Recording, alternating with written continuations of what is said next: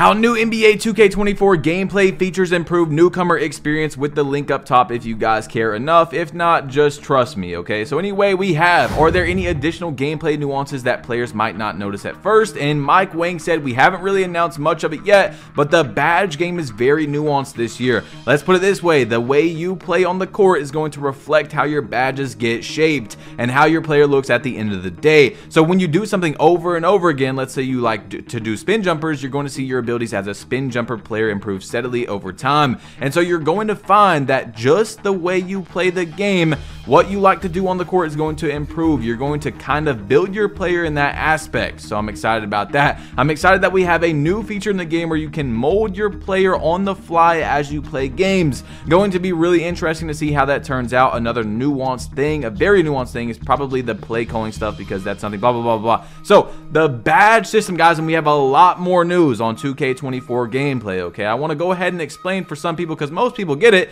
that the title is 2K24 gameplay, because we're talking about 2K24 gameplay confirmed news, and we got a lot in here. So it might not be the gameplay you wanted to see, but it is 2K24 gameplay, all right? Anyway, the 2K17 badge system, 2K16, that's what I'm seeing from this right here. You're going to be able to play how you want to get the badge. Like to get, you know, Deadeye, you're going to have to shoot contested mid-ranges or contested three-pointers, things like that.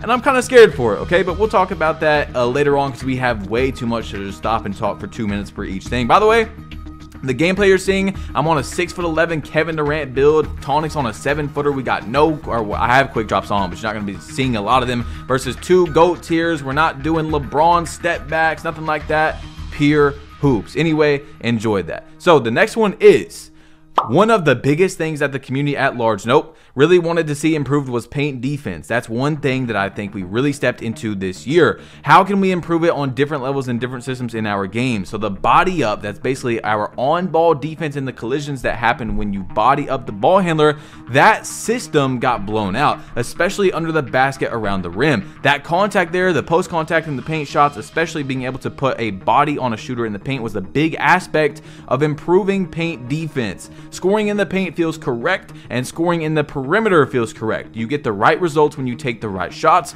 or if you're getting guarded and you're taking bad shots, you get the results you expect. So those are the kinds of things we're also always trying to improve on year after year.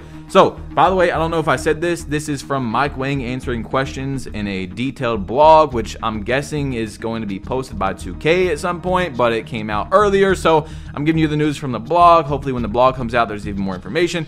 Anyway, in there, rookie difficulty was announced, which I believe will be in my career as well. So, Rookie difficulty is finally back for those of you that care. I don't really care that much except for the badges that are super hard to get or maybe that is going to be the badge grinding method because maybe Hall of Fame and Rookie is the same. Like it's similar to 2K17 is what it's sounding like, right? So to do a dead eye contested shot, you would probably be more likely able to do it on Rookie to get your badge faster. I don't know, man. We'll see, bro. Anyway, our amazing, or they are amazing, they're really explosive, yeah, just a really tight handle, just like the real life player Curry too. He's actually a guy we had come and do mocap, so he did all his moves for us already, but we got even more this year with Pro Play, and they're pretty impressive. I know all the kids love Curry, so they're going to like the improvements that they're going to see in him this year too. So I'm really excited for the 2K24, and you just see me airball, okay? That's bad. But I tried a crazy shot. Anyway,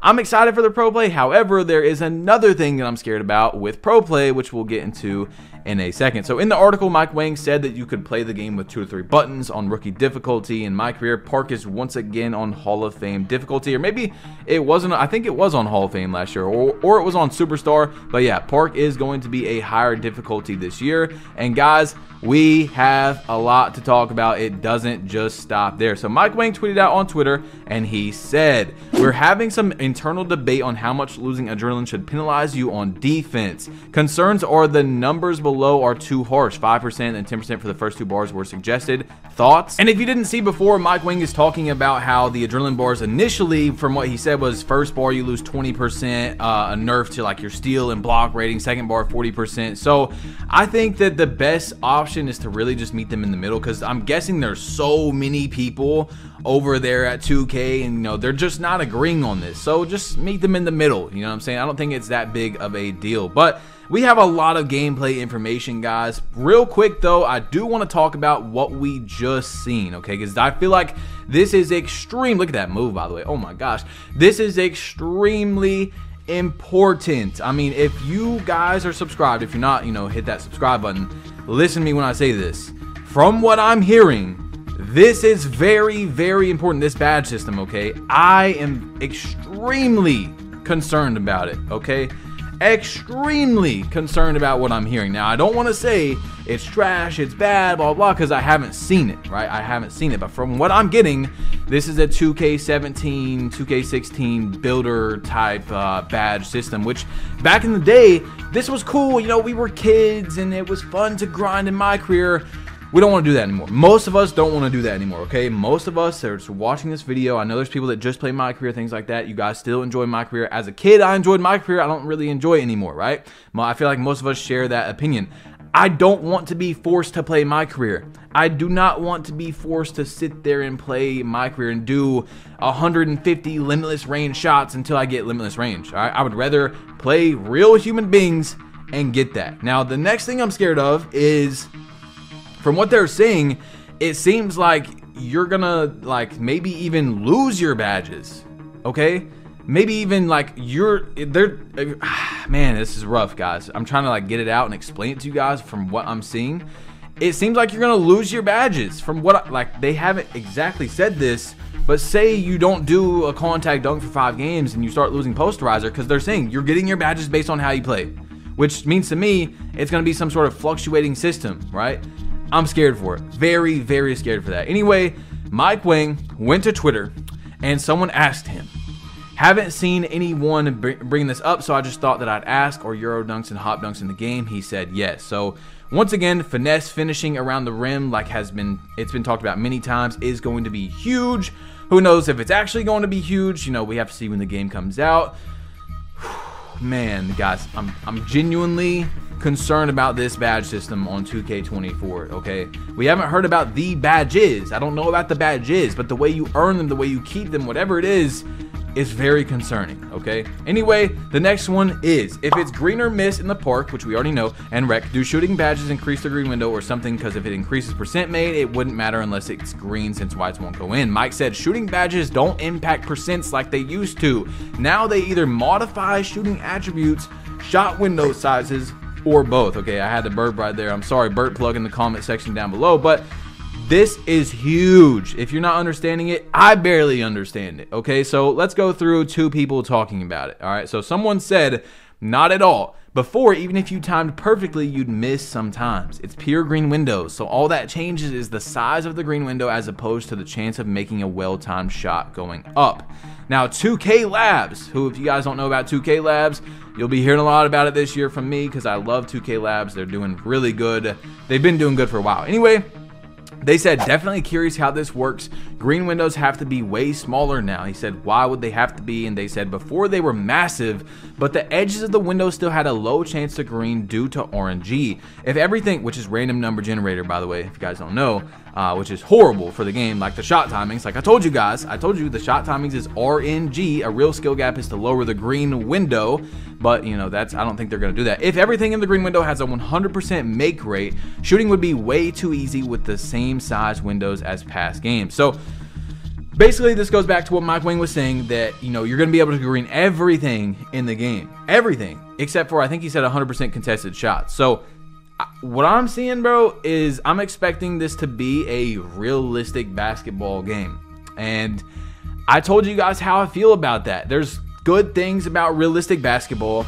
There's bad things about realistic basketball in a video game. So let me explain. In 2K, this is not real basketball, okay? It's a simulation of real basketball. Therefore, the skill gap is where you know, you are able to dribble and get open. And then once you get open, you know that you're open. Then you time your shot correctly.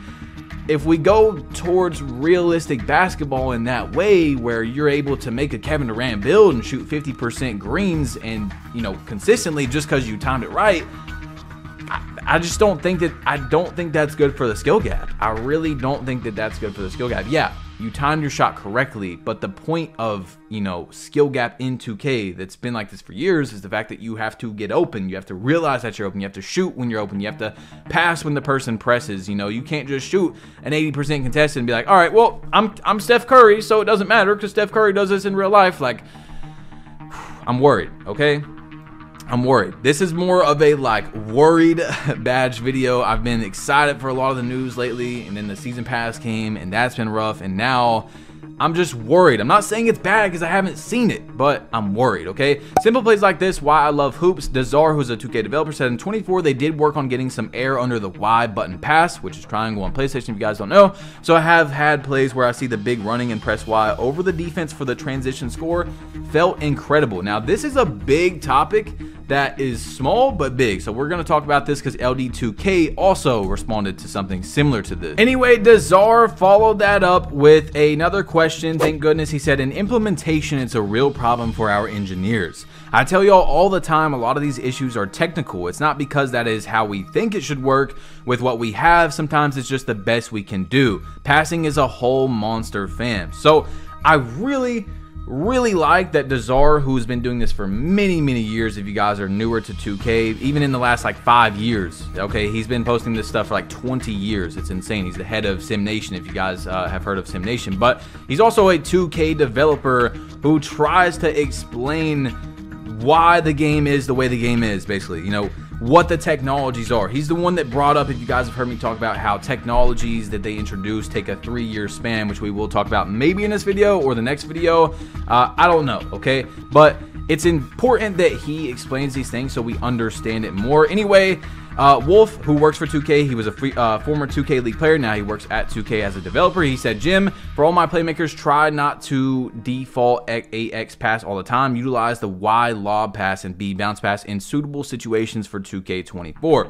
So that's going to be really interesting to see because the other day I did a Y pass where it made sense and I ended up basically being punished for it because the Y pass, yeah, it threw it over the defender but I probably had a better chance of just throwing it and then, you know, risking if the defender was going to steal or not. Because by the time my, you know, teammate caught the ball, the other defender was already there. Okay, so anyway, we have some more important things to talk about where I said LD2K was commenting on this whole situation with the passing because if you guys don't know, it's bad, okay? It's bad when you are doing an inbounds pass in any sort of competitive, or if you guys have played rec and you're getting double pressed, you know, they're rough. So anyway, he said, can say this, the creators had a good in-depth and long discussion about the inbounding and quote-unquote wraparound pass mechanics that are automated at the 24 gameplay sessions. So as someone that plays competitive throughout the year, you guys know I play everything, park, rec, stage, Pro-Am. I was on one of the top Pro-Am teams this year